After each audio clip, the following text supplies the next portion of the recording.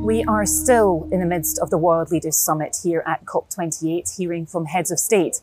You may hear the helicopters in the background.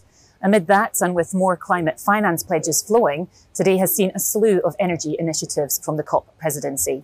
The biggest of these, building on the G20 New Delhi Declaration, where countries agreed to pursue tripling renewable energy capacity, the presidency has announced 118 countries, at last count anyway, have joined a pledge to triple renewable energy capacity to at least 11,000 gigawatts by 2030 and to double the annual global average rate of energy efficiency. There is also an oil and gas decarbonisation charter signed by 50 companies.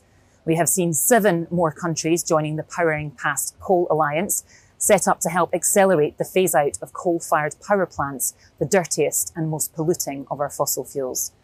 The COP28 President Dr. Sultan Al Jaber has also called for the oil and gas industry to align around the 1.5 degree temperature goal. That is an important reminder of why we are here.